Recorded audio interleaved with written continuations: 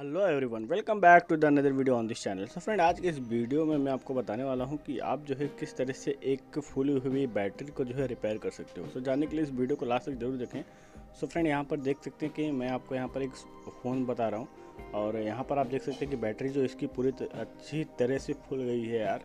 और इस पर हम कुछ कर भी नहीं सकते। ये ड्यू टू ओवर चार्जिंग या फिर दूसरा चार्जर जो कंपनी के साथ में मिलता है मोबाइल के साथ में मिलता है, उसके जगह पर दूसरा चार्जर जब हम यूज़ करते हैं तो यार इस तरह की कंडीशन हो जाती है और हमारी बैटरी जो है ज़्यादा फूल जाती है कुछ इस तरह से।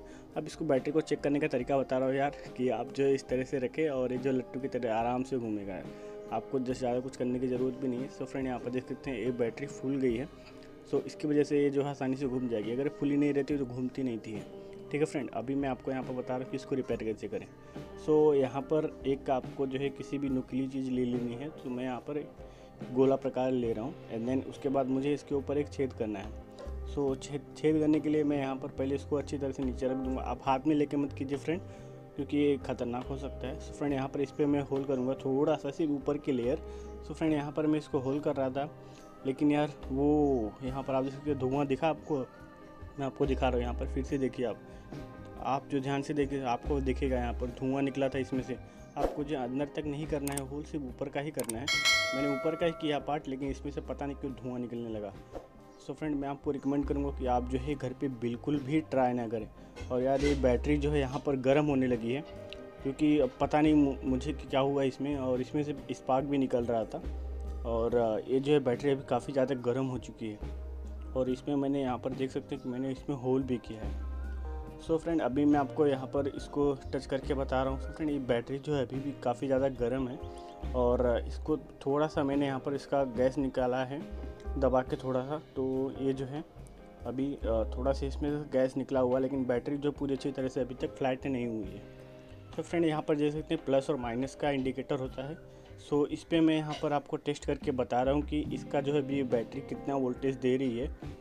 सो so, मोबाइल जो है काफ़ी दिनों से पड़ा हुआ था लेकिन बैटरी जो शायद थोड़ा बहुत चार्ज इसमें बचा होगा तो वोल्टेज तो ज़रूर दिखाएगा। सो मैं यहाँ पर आपको चेक करके बता रहा हूँ। और इसमें से धुआँ भी निकला था मतलब बैटरी हमारी चार्ज थी। सो यहाँ पर मैं आपको चेक करके बता रहा हूँ लेकिन ये बैटरी हिल रही है तो इसको फिक्स करने के लिए मैं बैटरी के ऊपर यहाँ पर टेप लगा दूँगा और इसको टेबल से ज्वाइंट कर दूँगा। तो उसके बाद मैं आपको आपको चेक करके बता रहा हूँ कि इसका वोल्टेज जो है कितना है। सो so, यहाँ पर ये अप्रॉक्सीमेट 4.4 वोल्ट की जो है यहाँ पर आउटपुट दे रही है।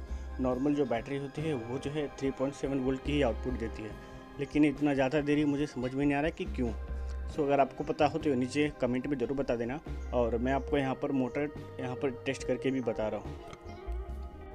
अब मैं यहाँ पर मोटर के जो है दोनों वायर कनेक्ट करके यहाँ पर दिखा रहा हूँ कि यार मोटर जो काफ़ी ज़्यादा स्पीड से चल रहा है। और ये जो नॉर्मल जो बीस रुपये वाला मोटर होता है, वही वाला मोटर है, और जो आपको कार में मिल जाएगा टॉय कार होती है, उसमें आपको आसानी से मिल जाएगा। फ्रेंड मैं आपको बता दूँ यार, आप जो है इस तरह की कोई भी ट्रिक घर पे ट्राई मत करें। अगर आपकी बैटरी फूल गई है तो यार प्लीज़ उस बैटरी को रिपेयर करने का सोचना भी मत, या फिर इस तरह की जो है आपके साथ दुर्घटना हो सकती है, या फिर बैटरी फट भी सकती है। मैंने यूट्यूब पर यार बहुत सारी वीडियोज़ देखी, जिसमें लोग इसी तरह से जो है इसको रिपेयर कर रहे थे, लेकिन पता नहीं कि उनकी बैटरी रिपेयर हो जा भी, हो जा भी रही थी।